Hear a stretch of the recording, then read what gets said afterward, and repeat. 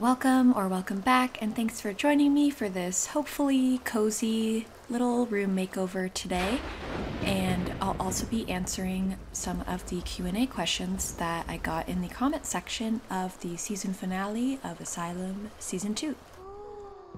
This is absolutely unacceptable.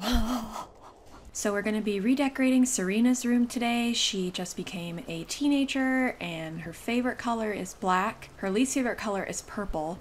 So we got to change her room up. Just want to take a couple things from Alfie's room for her. Binoculars, maybe this stuffed animal.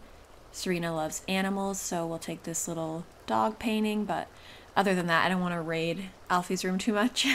So these are Serena's interests. I have that mod that makes it so interests aren't locked to the age they are. So I remember when she was a kid, I re-rolled her interests a couple times to like try to make her interested in crime and politics. And I at least got crime to three because like it's kind of crazy that like in a normal game there are certain things kids like can't be interested in. Like I get it, but also at the same time there are always like those kids who are hella into politics when they're little who are like I was reading about Iran Contra the other day, and I'm like, tell me more.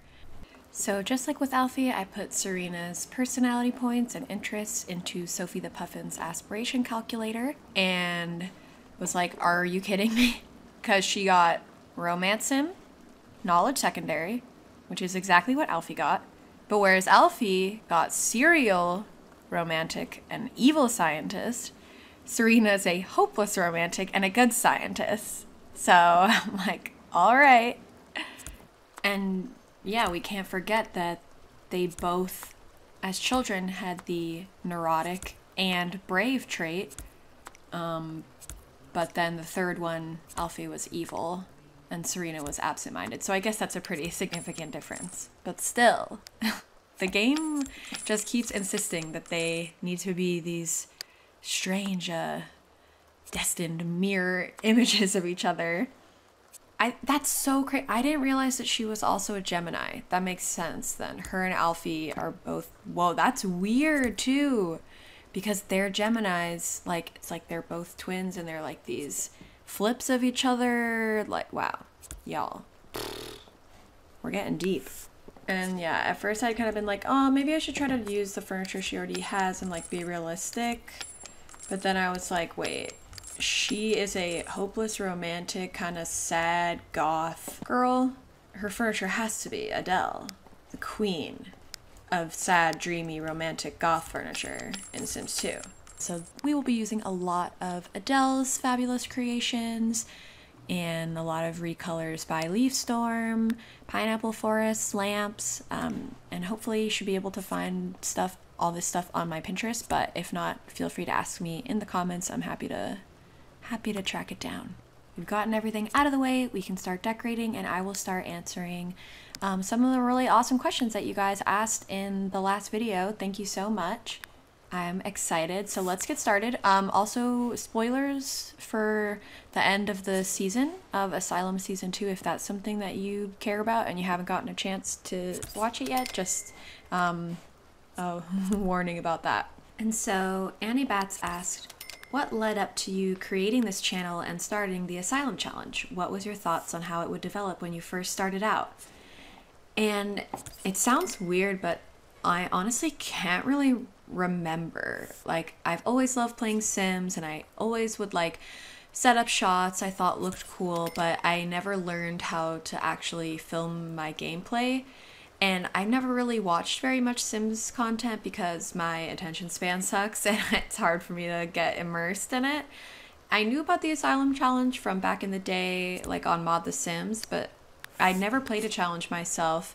And then I saw Cozy Pixels Asylum Challenge she played, and they were really short and well edited. And I had fun watching those, and that inspired me to try that specific challenge because it seemed fun and it didn't have a ton of complicated rules like a lot of other Sims challenges do. I filmed and edited a bunch of episodes, and then they sat on a hard drive for months because I tend to be very perfectionist in a procrastination sense. Like, I'm like, no, I can't upload them until I come up with the perfect channel name. And before I do that, I have to do XYZ other thing. And then someone in my life was like, okay, just promise to upload one in the next week. So I did, even though I was really nervous because I'm just, you know, I'm a lurker at heart. I'm always there watching and never participating. so this is super different for me. uh oh. Okay, I'm sorry. This is a really long ramble, but honestly, I don't really know. I think I just was like, I always thought I could make a funny series, and I finally felt confident enough to do it. I hoped that maybe The Sims would be funny or a cool story would develop and I could continue to play with them outside of the challenge, but I had no idea I would get so into it and get into developing this big, crazy story with machinimas and stuff. And then question two, uh, Cartoon Mouse asked, How much do you pre plan for the story versus how much is determined by the Sims themselves, their wants, things they do autonomously?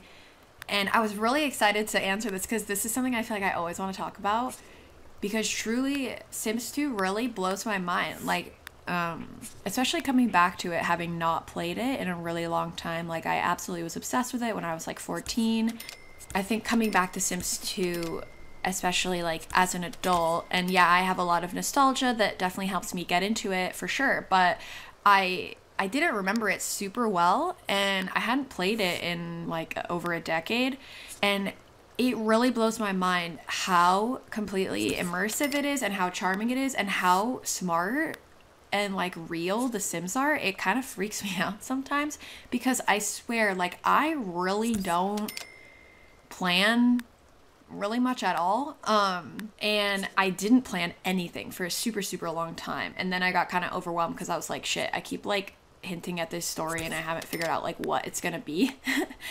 but so much of the time you don't need to because the Sims just behave in ways that make sense or like it just feels like the story will just kind of create itself. And so it's really fun and makes it like come alive and makes it fun for me and it like takes pressure off of me and uh, hold on one second. While I'm starting decorating here, I kind of want to generate a secondary favorite color for Serena, just like as an accent color to help me. Wow, okay. And it's red. and Alfie's favorite color is red. Oh my god. Alright. Alright, sorry for that. But like all the characters, all the Sims, like they feel real and like the animation too is so detailed and so beautiful that you really can like sit and watch them and and feel very immersed in a way that in like the later games you know i can't sit there and watch a sim cook and be like wow this is so amazing. Whereas like i can make an entire montage and like vibe out watching solange make a pie and it feels to me like she's doing it because she gets everything out and stirs it up mixes it up puts it in the pan. Like all those little things add together like the animations and the way that the sims you know are like programmed to tr- behave with each other like really makes it come alive to me and makes it so much fun. So like certain things like i'll decide you know like really big overarching plot stuff like i'm like okay alfie and barrett are gonna like disappear. You know that's something obviously that i decided. But then I'll really just kind of give myself an outline of things that I need to happen, and the rest, like, it fills in the blank and I'll sit in there and feel like in front of my computer, just like, yes, yes. Because I'll just be like, bro, they can hear me, dude.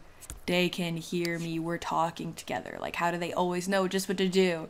Like, I'm trying to think of a specific example. Like, like just how the things they'll be talking about in the thought bubbles will come up and it will be perfect with like what I'm saying at that time like cuz I don't really or really never I don't record gameplay and then go back and talk over it like it's always just me talking at that time um, with the exception of like if it's something for exposition i realize like i didn't explain who someone was or i didn't explain like why they went to a place i'll like you know record like oh time to go over to letitia's house or whatever. But I can remember, I think in the first episode of season two, when Blanche and Solange are like out at the restaurant, and um, I'm trying to lead up to how Blanche wants Solange to go to Nolan's house, and so I'm just talking like she wants her to do a job for her downtown, and then they like start talking about downtown, and I'm like, someone with like a lot of money, and then Blanche started talking about money at that time, and then I'm like, and maybe her greatest enemy in the world, and then right then she like talks, and the punching glove uh, thought bubble came up, and I'm just like, bro. I feel like it, it stays fun for me. And I get so invested in it because I um do feel like I don't even have that big of a hand in it. And I still get to feel like it's this organic thing that's like happening partially because of me, but also partially because of just the game itself. And so that's really cool. Sorry, that was an extremely long winded answer. And then I grouped these couple questions together. We had a small bear asked which sim has had your favorite storyline so far. Um, Sandwich asked, out of the household in season two, which one did you enjoy playing in, filming the most? And Stegosaurus asked, do you have any favorite characters except for Solange, of course? um, and I mean, I love Groceries and Jonathan and Whitney. I think their story is very sweet, even though I guess it's pretty bad too sometimes. I read comments where you guys really spell it out, and I'm like, damn, all right, I'm sorry. I'm not trying to make their lives terrible, but to me, they're pretty iconic and they always crack me up. And other favorite characters, I love Maximus. I love Nolan's entire god awful house. I love Letitia and Blanche. And I'm really excited to get to know all the kids more who are now growing into teens and stuff. What can I say? I love all my children equally. Sandwich asks, Is there any specific plotline or character you wish you had more time to flesh out in season two? I think I definitely could have shown a bit more red, but it took me so long to bring him back, and I had so much stuff I had to do to make the season finale work that I didn't end up bringing him in until super late. But I'm also like lucky I didn't flesh him out or the circus or stuff like that more because there are a lot of questions that I'm still working through and trying to wait for inspiration on. And then Sandwich also asked In season one, you came up with backstories for why Solange and Red are in the asylum, Solange's life falling apart after skiing injury, and Red's whole deal. Do you have any headcanons as for why the others have been hospitalized? It's funny, I was just thinking about this the other day. I definitely want to think of more backstories. I hope that something will give me some inspiration because I am intrigued by it and I feel like probably it would tie into the overarching plot well. So I hope I can come up with some good ones. I hope some will like appear naturally to me in the game, like how Reds and Solange's did. And then Sandwich asked, Are there any songs you associate with the series in general? Or any specific characters? What are you doing? I don't know if there's really a song I would associate with anyone. Well, except like, what's that song? Um, wacky wacky sax, yakety sax, or whatever it's called for every time we're at Nolan's house, just on an infinite loop over like all the footage.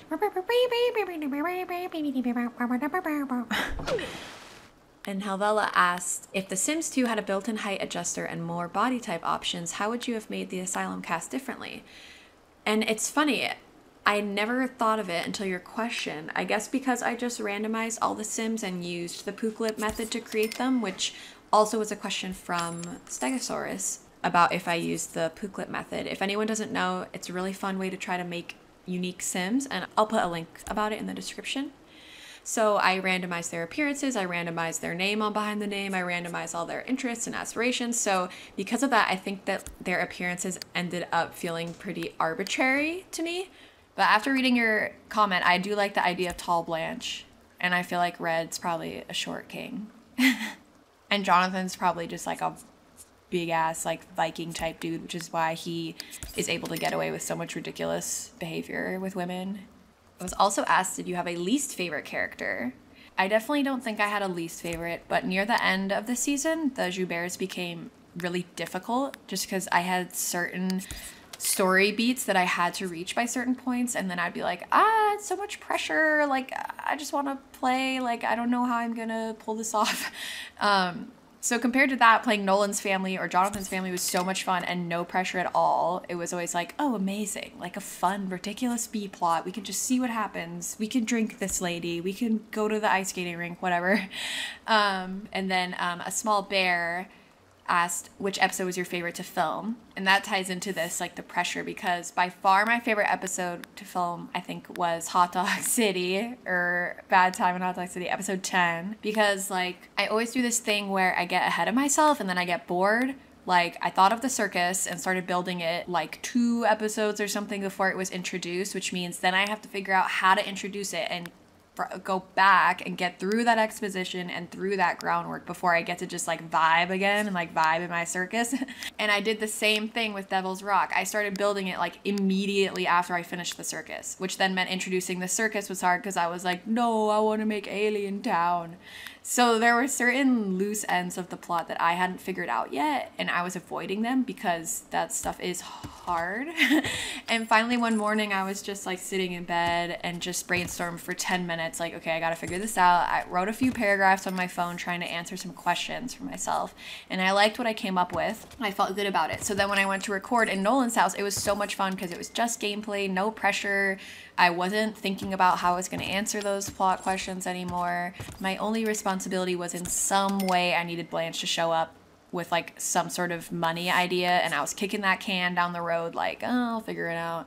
And then of course he helped me out being like, I'm to drink Opal. So I was like, okay, I guess so. but then yeah, then the answers I came up with then lead to more questions that I still don't have answers to yet. So yeah, so then I kick that can down the road more. it's fun for me because the game helps and the game like leads me to the story as much as I get to like shape the story. And The Sims 2 has enough of that tongue in cheek and dark humor like of The Sims 1 that that makes the story feel fun like to me. It, the story that starts to develop organically is interesting to me. And that also led up to um, Annie Bats asked, what led up to the switch into a Let's Play format and the gradual inclusion of machinima scenes and effects?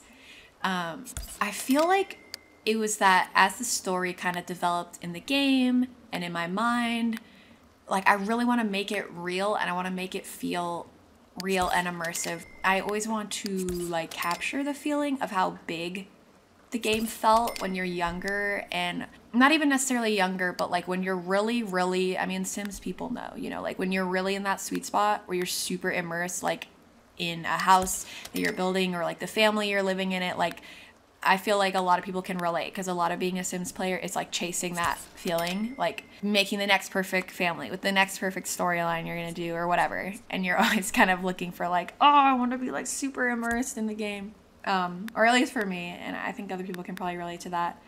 And the story that was developing was pretty weird and detailed, and not something I could do within the confines of gameplay. Like, the story isn't about Barrett becoming president or something, and I show the story by having him get to the top of the career. So, so I have to tell all the like overarching plot story myself. But then there's a limit to what just telling can do. Like, you know, I could sit there over normal gameplay and just be like, oh, by the way, this dude is undercover doing blah, blah, blah. But instead, I want to try to show you guys and make you believe it and make like, well, make us both believe it. Really, then it's more fun for me and hopefully more fun for you. Like, creating the machinima parts i feel like reinvests me in the story and like makes it more immersive and fun for me like i think that honestly in a lot of ways, it's funny because it's exhausting. So it depletes my energy to make the machinimas, but at the same time, it keeps the story engaging for me, and it makes me want to continue to flesh out the Sims because like then I get to watch the machinima parts back later and be like, okay, dude, this is dope. Like, damn, those are my dollies. um, and like I hadn't really thought about it until this past year, but I when I was a kid, I used to always make videos. I had a little like digital blue camera that plugged into the computer. Before that, I would make stop motion animation videos of like my dollhouse. I used to love to like write. I used to try to like write little TV shows. So I don't know. I just sadly, for whatever reason, probably the internet and having access to it all the time and a smartphone, as I grew up, I stopped engaging so much in those hobbies. But like once I started getting really into doing the machinima parts in this and getting really into like, ooh, the set design and then I'm into the music and the lighting and what they're gonna say and like the voices, it like kind of became my own little TV show. And when I was younger, I used to always make little teen dramas with like, you know, dramatic music in my head, like imagining montages and stuff. So I think over time, like, it it kind of just became that I feel like I'm making a little TV show and it feels less like making like a I don't know let's play or whatever but at the same time it's like completely free for me to do. It's low stress low pressure and it's just fun but I kind of get to capture that feeling of like creating a little show. So I definitely recommend. It's really fun. And then I'm so sorry I'm not exactly sure how to pronounce this um, but Obsmiet Chuyik? I apologize if I pronounced that wrong. I don't know why I decided I also needed to say it really high pitch and go over that. But um, they said, I recently rewatched your dorm speed build video and you mentioned something about connecting it to the asylum storyline. Just wondering if that's going to come back. And then I grouped this question with Sandwich's question about so there are many cases of plotlines you never intended to make happen, happening because the Sims themselves have willed them to be. On the flip side, were there any plotlines that you really wanted to make happen, but the Sims decided they simply didn't vibe with your authorial intent? And so these were kind of related to me because back during season one, or like right after it ended, I can't really remember when I built the dorm, but I just, I really did not foresee at all that at the end of season two that Barrett and Alfie leave. Like that was not something I think I thought of till like halfway through season two. So at that time I just assumed, yeah, blah blah, you know, Sims, the kids will grow up.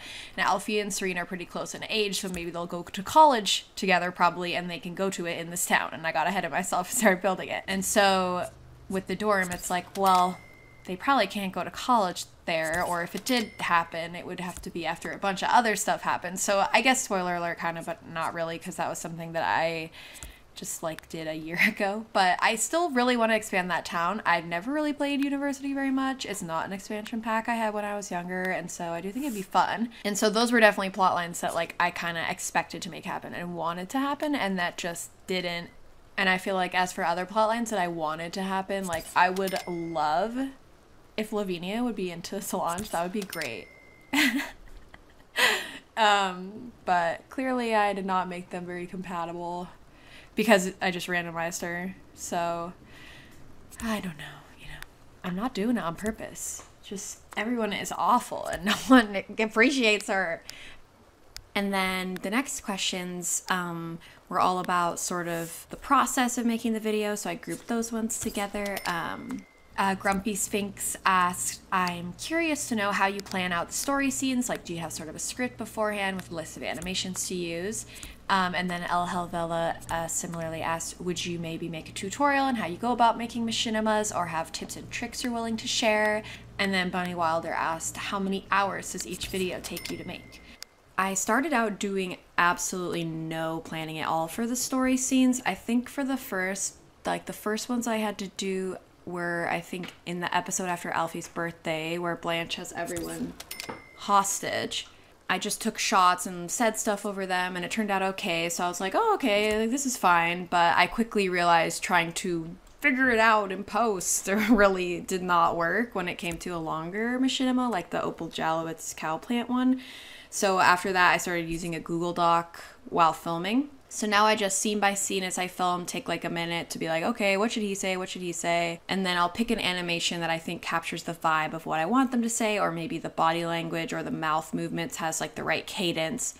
And then these parts in blue are because later when I record the dialogue, usually the animation will be a little too long. So I'll add dialogue to the line to make it long enough for the animation. One way I've tried to be more efficient is I'll make a note like this, like a continuity note, like don't show that there's no plates there and that they're not eating or something because sometimes I'll be like, oh, I got this shot I needed. And then it's like, no, I didn't because I accidentally have her wearing the wrong outfit or something because I forgot. Whoops, can't show what's below that is a big spoiler. And then something I started doing more for like the ending episodes was making like these outlines of like shots that I knew that I needed. Um, and then in between, you'll see like, I'll be like, okay, here's where I'll put my gameplay, and then I'd be like, here's what should happen before the next gameplay part. And like stuff like this is part of what makes the game so fun. Like I knew I wanted Letitia in the backyard for the wolf thing, but I was like, but how is she going to get outside because they're locked inside like I don't know how I'm going to come up with a reason for that. I'll just figure it out. And then turned out they were all just going through locked doors like for whatever reason. So I was like, okay, cool, thanks, game. Now it's like totally in line with the universe they're living in that apparently they can just go through locked doors right now for some reason. Um, and this originally just said like to get a snack with question marks, and then she got the want to eat a grilled cheese, and I was like, yes, perfect.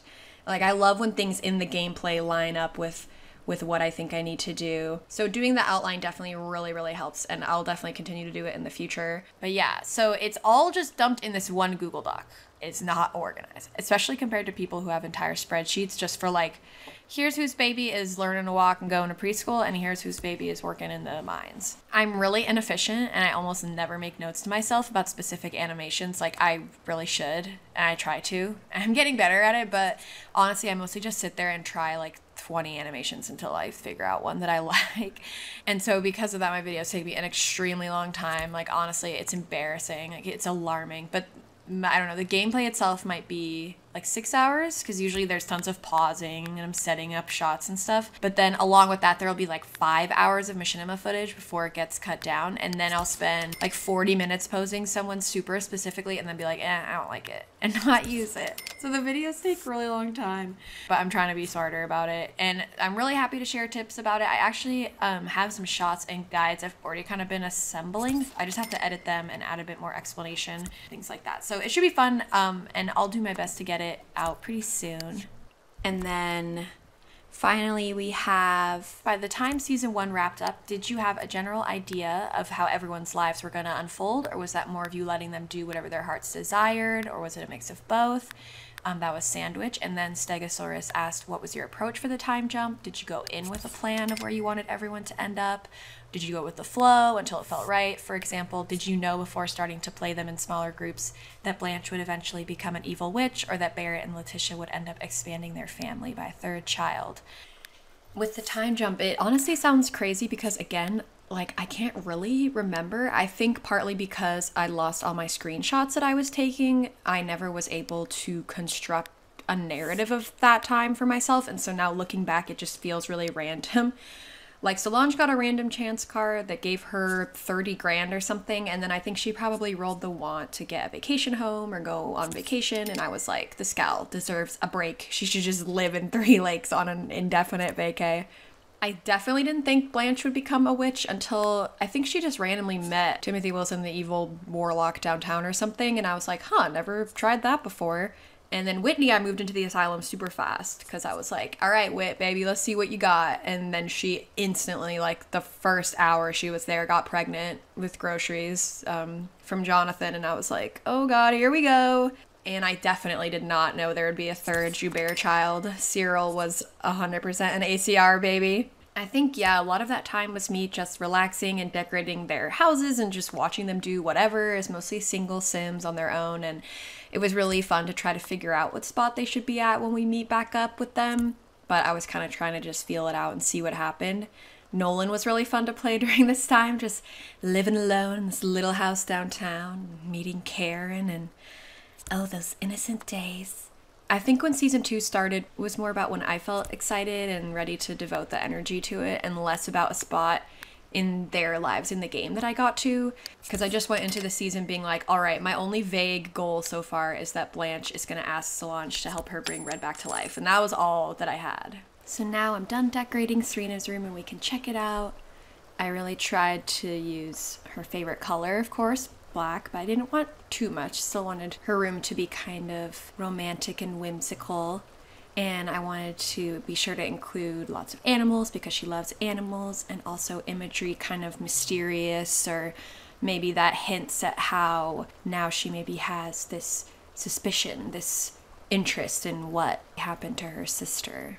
So thank you guys again for all of your questions. And if you didn't ask a question, thank you anyway. It's always so awesome to see your guys' response to the videos. It really means a lot to me and I appreciate so much how patient you are with how long my videos take and it really means a lot to me that a lot of people uh, seem to enjoy them. So thanks so much for being here, and I'm really excited for what the future holds. And if I didn't answer your question in this one, I'm gonna do another Q&A super super soon because I rambled way too long in this video.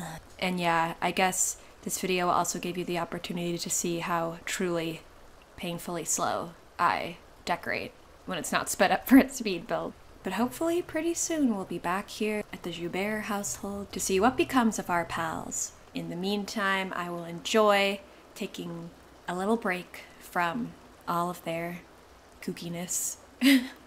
oh, yeah, and if you guys really want to know the truth of how disorganized I am. Um, I realized, like, right after finishing the season finale, that Barrett and Letitia were never married, which I didn't know. Because I guess maybe originally I was gonna, like, do a wedding episode for them, but yeah, so they were never married. So I had them get married right before moving Barrett to the desert. So now it also looks really sketch. Like it looks like Letitia was in on his plan. Like, ma'am, please explain why your marriage certificate is signed after your husband died in a mysterious event of his own creation. Oh my god, should now be the time that I finally remember to put the ground overlays from the lush terrain set over the ground. Okay, I'm gonna do it so that never again will I upload a video and then be like, oh my god, I still forgot to put the ground overlays on the street so that it matches the rest. Look at me go! I'm doing better already. So thanks you guys so much again for hanging out with me today while I rambled and decorated and I hope it was enjoyable. I hope you're all doing super great and I'm excited to talk to you again soon. See you next time.